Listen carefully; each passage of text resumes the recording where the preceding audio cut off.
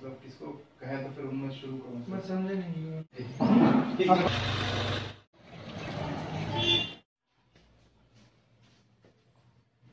ये ये क्या तरीका है? तो बताता हूँ सारा का सारा मेरे से पहले आप दोनों तीनों सारा।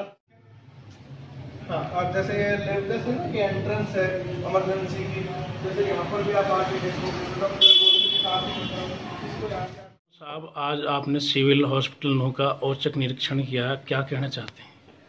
आज नू में आने के बेसिकली दो कारण थे। एक तो जो आईएमआई सेशन चल रहा मिशन इंद्रधनुष आज उसका आखिरी दिन है।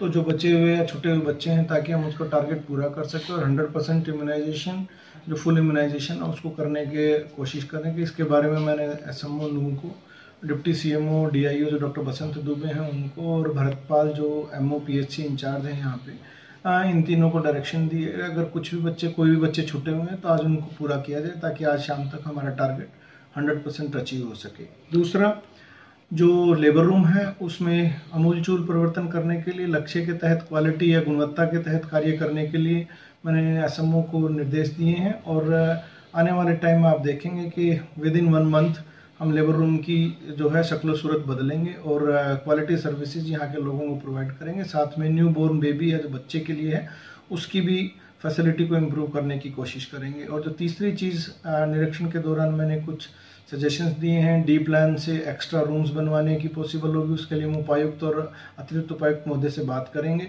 और अगर हमें संभव में मदद मिल पाई तो हम हो सकता है कि इमरजेंसी को एक्सपेंड करें और इमरजेंसी हिस्से को हम वार्ड में कन्वर्ट करें और बाहर की तरफ़ इमरजेंसी के लिए अलग से बनाएँ। और मोर्चरी का जो अंत में मैंने दौरा किया था, उसमें एक पीने की पानी की सुविधा के लिए और शौचालय के लिए एक सुविधा उपलब्ध कराने के लिए असम को दिशा निर्देश दिए गए हैं। मैं उम्मीद करता हूँ कि आने वाले दिनों में हम क्वालिटी सर्विसेज़ प्रोवाइड करेंगे और लोगों की स्वास्थ्य सेवाएँ बेहतर से बेहतर देने की कोशिश करेंगे। सीएम साहब, मेरे दो तीन सवाल हैं। एक तो यहाँ पे एक्सरे की मशीन है, उसमें डॉक्टर नहीं है, एक अल्ट्रासाउंड की सुविधा नहीं है। एक जो मोर्चरी है, उसमें जो फ्रीजर है, डेड बॉडी के लिए वह लंबे टाइम से एक दिखा हुआ है, काम नहीं करता। नहीं, जहाँ तक, ऐसा है कि आपको शायद इस बारे में, मोर्चरी के फ्रीजर के बारे में तो मैं कहूँगा कि कोई गलतफहमी या कोई कन्फ्यूज़न है? जो फ्रीजर है, वो तो नया फ्रीजर है, दो बॉडी का जो पुराने वाला फ्रीजर है, वो तो कंडम है वो नहीं है तो नया दो बॉडी का फ्रीजर यहाँ पर उपलब्ध है।